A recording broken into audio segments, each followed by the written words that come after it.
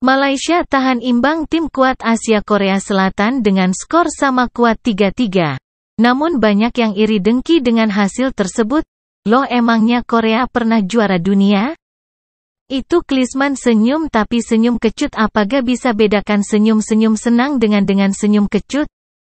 Argentina malah bisa dikalahkan Arab Saudi, kenapa Korea ditahan imbang Malaysia pada iri dengki? Bola bundar bos